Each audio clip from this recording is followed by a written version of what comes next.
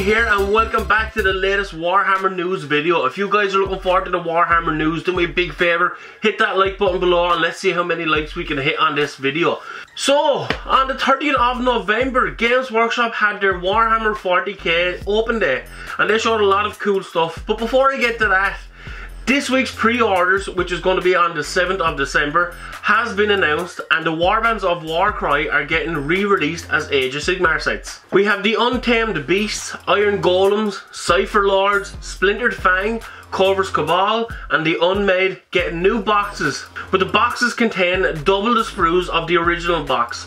The price of the original Warcry boxes were 40 euro, so it only makes sense that the price of the new ones are going to be around 60 euro.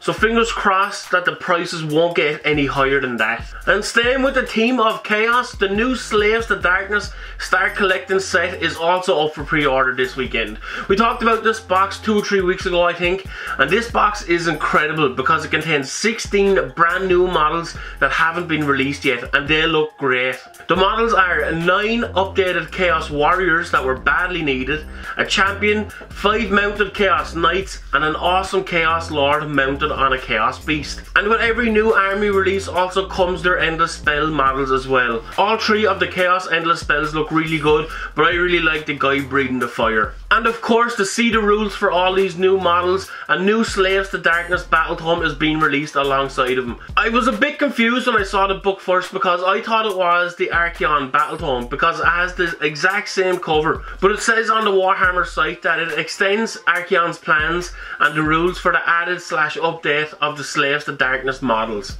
Also coming from Warcry this weekend is the scenery that was part of the Warcry starter set. The Azyrite Shattered Plaza and the Azyrite Rune Chapel are getting their separate releases. Most of the parts of these sets are walls, so it lets you extend your terrain out as far as you want.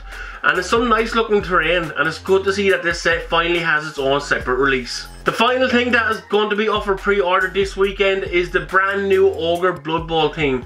Big is beautiful and I think the Ogre Blood Bowl team has been long overdue. But since the Ogres didn't get a lot of new models released this year, this new team of ogres seems to fill that void a little bit. I'm excited to get a box of these because the ogres were one of my first fantasy armies and I'm really looking forward to adding these to my collection. But that's not all. Forge World are releasing three new models for the team and two of them are ogre ladies. So if ogre ladies are your thing, then you're in luck. Make sure to check out the Forge World website this Saturday. And finally, we come to the Warhammer 40k open day that happened at Warhammer World.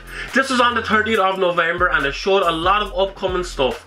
To start us off, they showed a compilation video of their animation stuff that they've been working on. Now, they do say that some of this stuff is just for show, and some of the stuff is going to be released as an animation series. But the first one set to be completed is the Angels of Death project, and the first trailer is to be released in the Las Vegas Open this January coming. The other two big things that they showed at the open day is more Sisters of Battle models and a Skitarii flying model. Triumph of Saint Katherine is a damn beautiful centerpiece for the Sisters of Battle and better again it's getting released early next year. The Skitarii also have a big model release, a new big model release. The Cult Mechanicus has gotten a flyer called an Archaeopter I think that's how you pronounce this. But the flyer has got a bit of a mixed reaction, mostly because of the wings. But I really like it, and I think it fits that Skitarii aesthetic perfectly.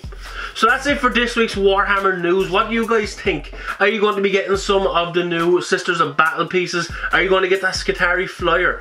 Are you waiting for the Slaves of Darkness? I think the Slaves of Darkness is the big winner this week. That new Star Collecting box.